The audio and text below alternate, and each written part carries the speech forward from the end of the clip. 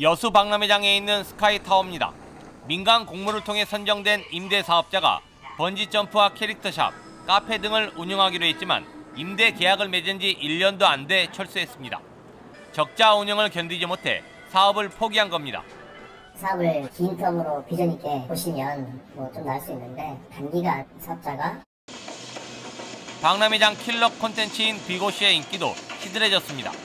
지난해 비고 관람 수입은 23억 5천만 원으로 전년보다 20% 정도 줄었습니다. 비고쇼 관람객 급감은 박람회장 전체 운영 수익에도 큰 영향을 미쳤습니다. 지난해 박람회장 관람객은 당초 예상보다 저조한 300만 명으로 운영 수입이 55억 원에 그쳐 전년보다 10억 원이 감소했습니다. 식상한 박람회장 콘텐츠가 관람객 감소를 불러왔다는 지적입니다.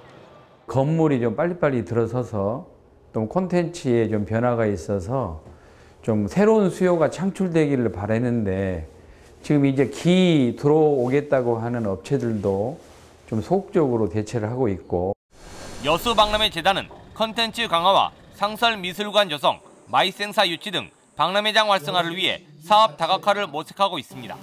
KBC 박승현입니다.